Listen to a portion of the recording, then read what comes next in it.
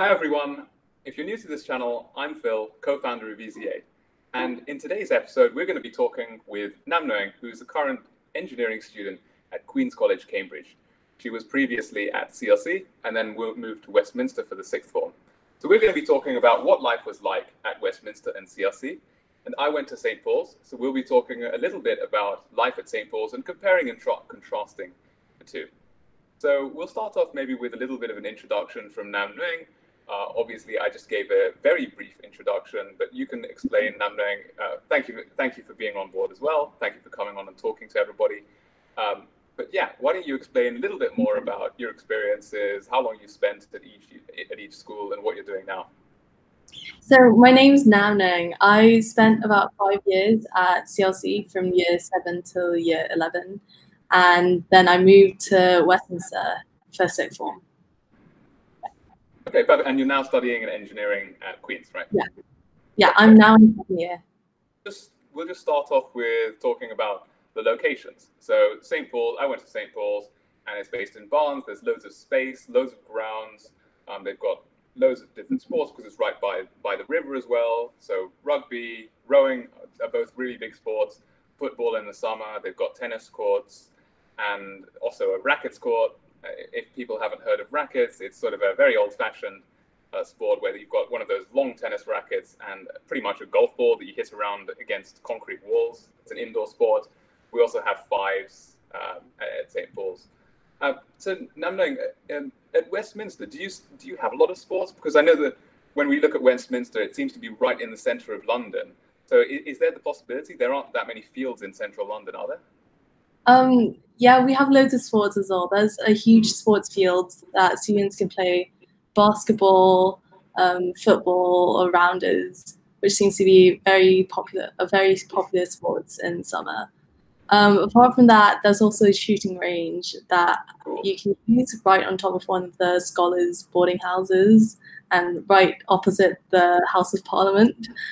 So I've done that before for my sixth form year as well it's very fun. That's yeah. really cool. I mean, who, who would have thought that there's yeah shooting in one of the sort of a, central London school? Is it sort of yeah. air air rifles or what? How does it work? Um, it's air rifles. So it's in on top of one of the boarding houses, and you just walk up there and then wear shooting jackets and earmuffs, and you you just start shooting the target. And wow. you have to be careful about shooting the ceilings or the floors, or but there'll be instructors there. Um, other sports are there are also swimming, um, cross country, hockey, tennis. But these sports you have to travel. These sports are not right in the like walking distance away from school. So you might have to sit on a coach or car. And also another one of our very popular sports is also rowing, which is yeah. similar to. Paul's and cricket. And uh, people take rowing and cricket very seriously at Westminster. Um, and quite a few students would be recruited by US universities every year uh, for being a good rower. And they also participate in the Henley's Regatta uh, every year as well. Yeah, that's cool. I, I was at Henley before as well, because um, of, of, course at St. Paul's we're a big rival of Westminster, especially yeah. in rowing. Yeah. Um, and rowing, rowers and cricketers also get special blazers at school for being good at their sports. Whereas uh, CLC is quite different from Westminster because it's not right in the centre of London. It's in the centre of Cotswold. So there are loads more field space. So when I was there, there were loads of sports that requires a lot of field space. For example, lacrosse, hockey, cross country, and these are right in the walking distance away from school. In fact, like some of the boarding houses are just two minutes away from the sports field. Uh, so usually, very sporty people would tend to choose those boarding houses. Um, apart from that, CLC also had loads of indoor sports such as swimming pools. They have their own college own swimming pool and um, their own sports center, which is called the Health and Fitness Center, which you can also do sports in there pretty wide variety at both schools. Probably the difference, main difference between CLC, Westminster, and St. Paul's then is that at Westminster you have to travel quite a lot for the sports. Would that would I be right in saying that? Yeah, you have to travel for the sports that requires field spaces. Uh, Okay. Such as hockey, you have to travel or swimming. But Westminster also has a sports centre where you can are within walking distance. So anything like rock climbing or badminton or something that's like indoor would be close to school, but whereas something that requires a lot of space would be a bit further away from school. Okay, cool. So yeah, I mean, lots of sports available.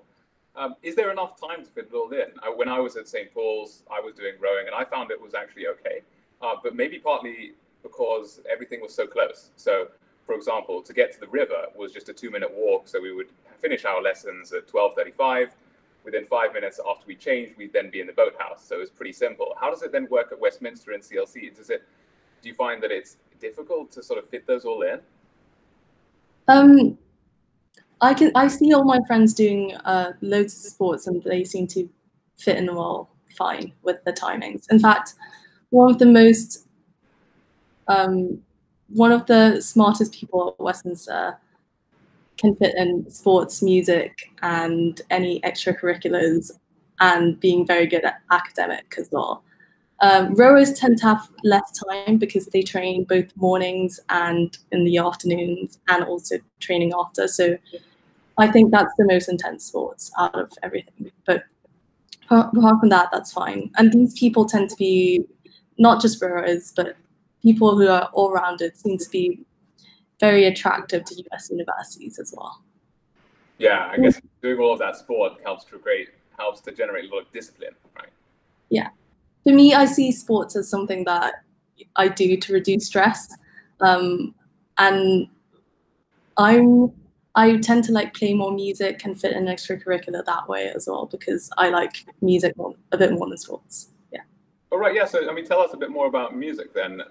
There are probably buildings on site where you can do music. At St. Paul's, we have something called the Wathen Hall, where there's a there's a, a big music concert hall, and then they have uh, little music rooms that you can go and book up as well if you're just trying to pla- practice with some friends, or also to have private music lessons.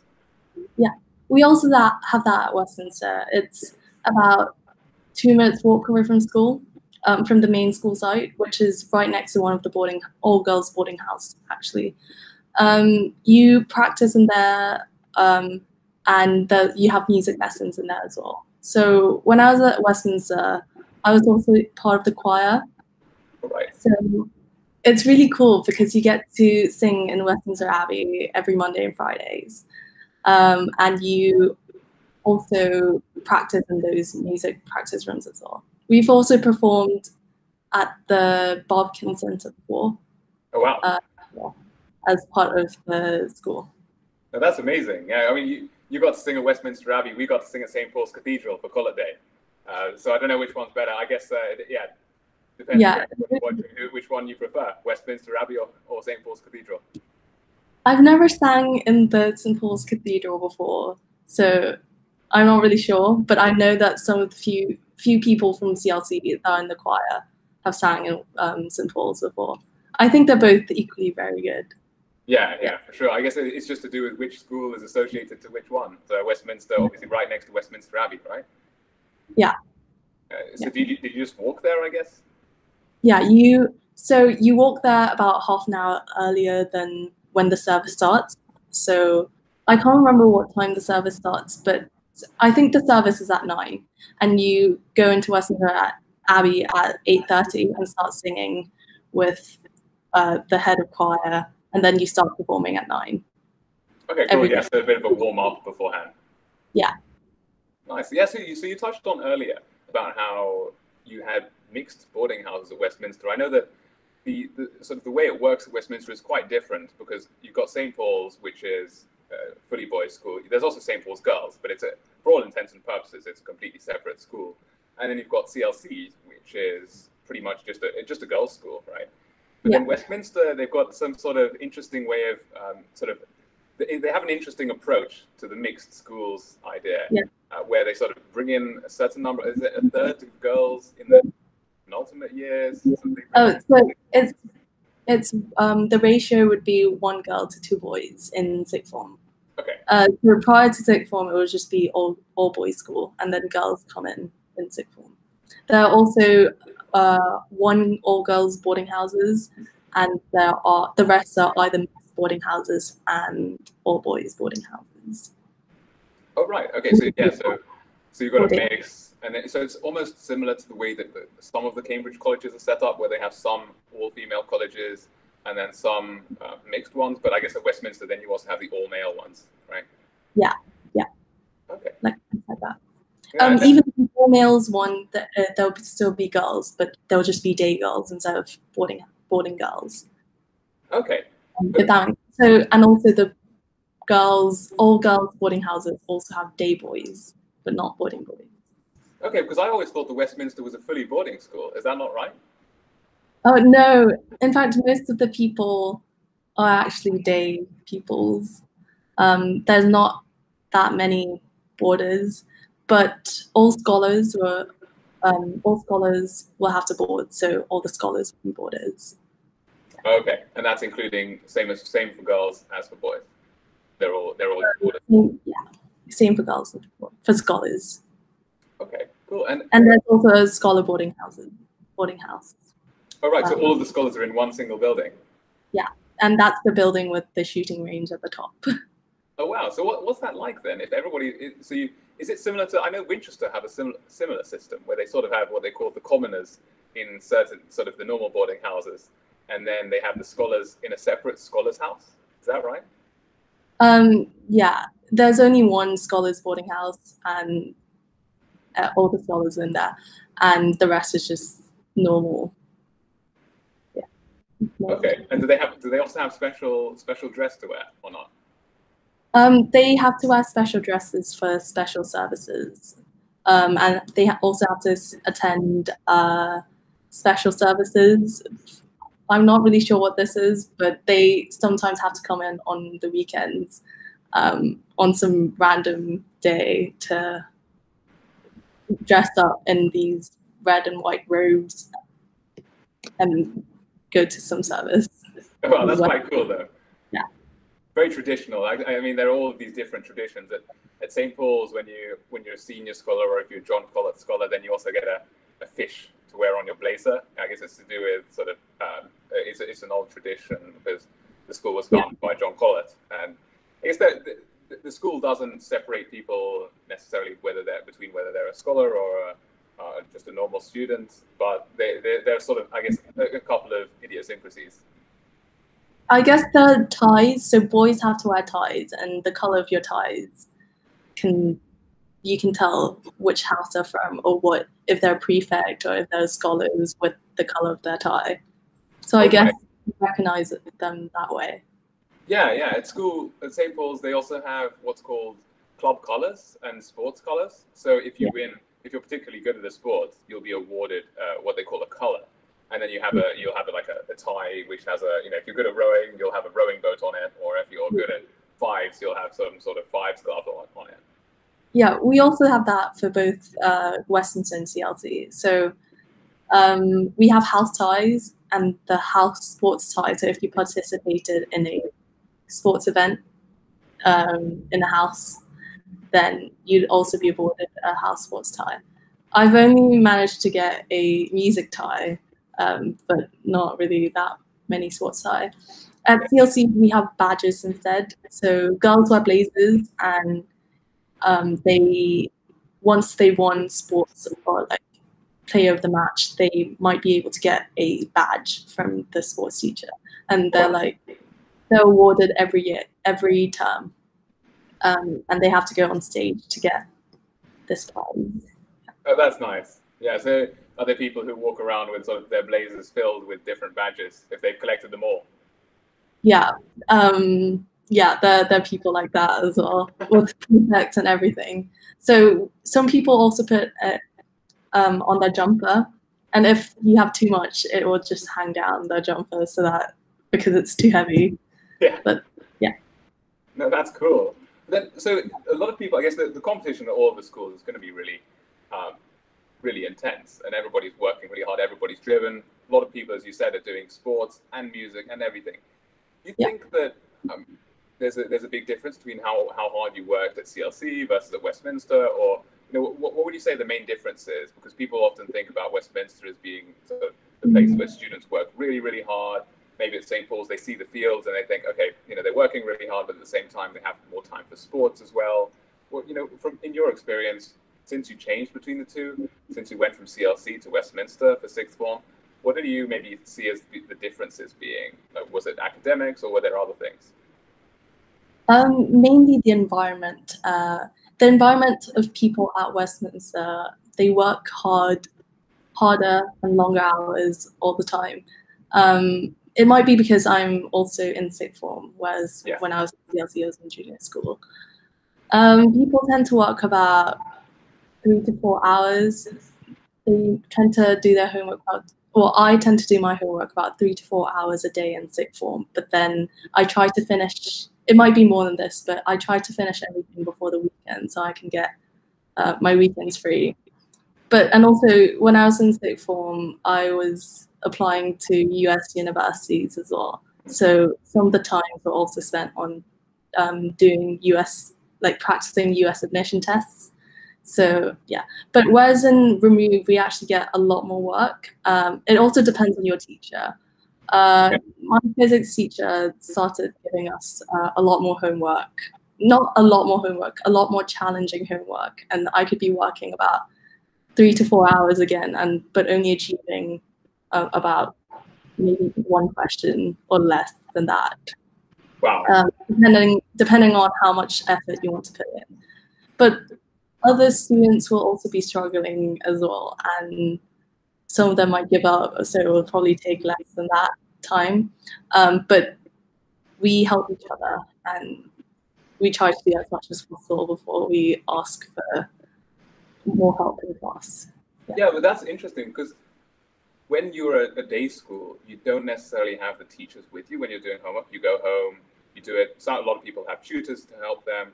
But when you're at boarding school, you don't have that. You're sort of in there. You're you're given a certain amount of time, or you're you're given a set homework times where you have to do everything. Uh, did you did you say before that you uh, at, at, Westminster you can ask teachers while you're at the school, so they stay behind after school is actually finished, and you, when you're doing your homework as part of the sort of in your boarding house, you can go and ask them. So in boarding houses, tutors go to um, just be the tutors of the day in their houses to register people's name as well.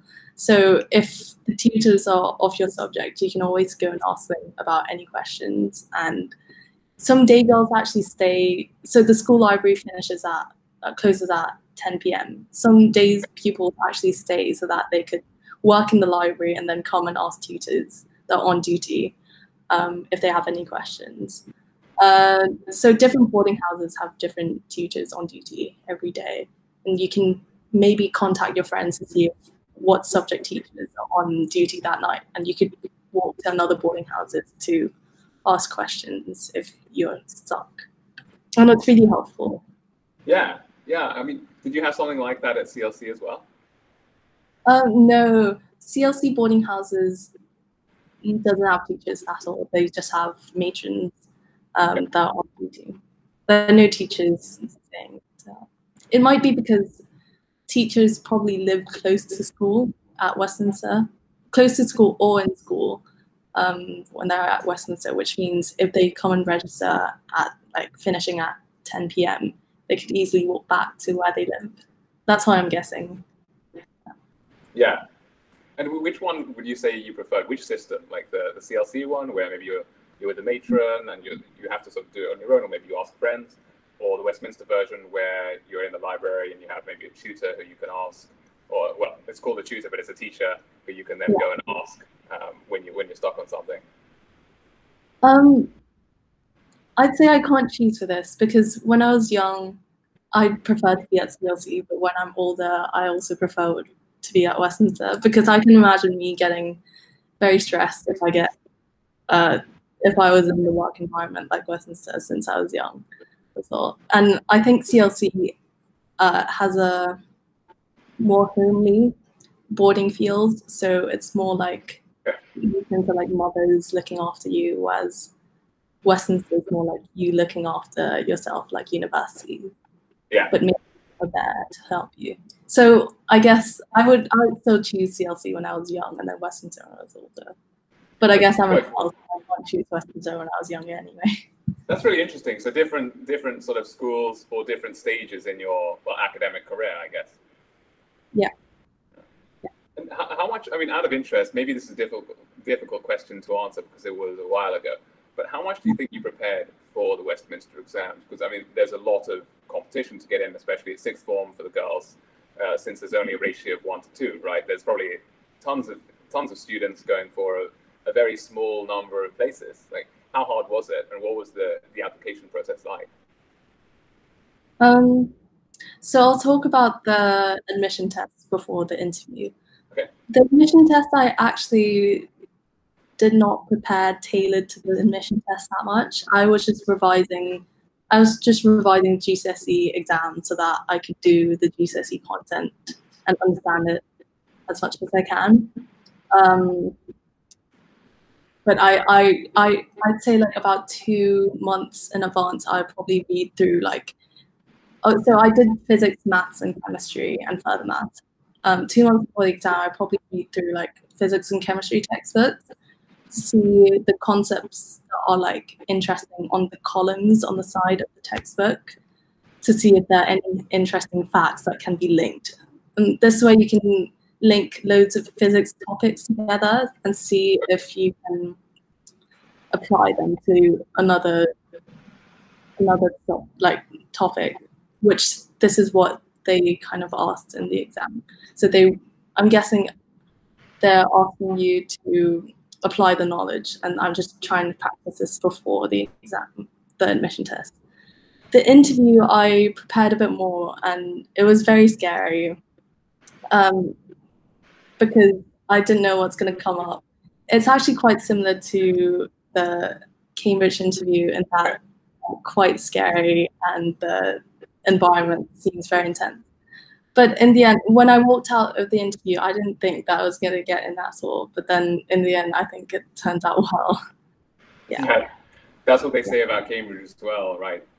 When you have a tough interview, it's probably gone well because they're actually challenging you rather than letting you letting you go and that's also because your sort of your mind is thinking, right? Yeah, I I, I couldn't answer some of the questions in interview interview. Um, yeah. So it, was I, all, it was all okay. it was all okay. I, I gave very questioning answers. I think very off topic, not off topic, very quirky answers in the interview. So yeah. So I guess they, they like that.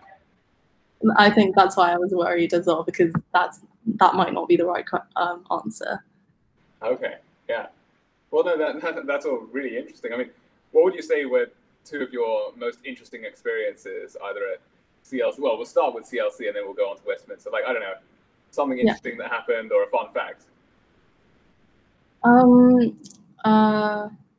At CLC, I've met Malala before, so okay. she's the prize winner she came for one of the uh, levers talk, I think.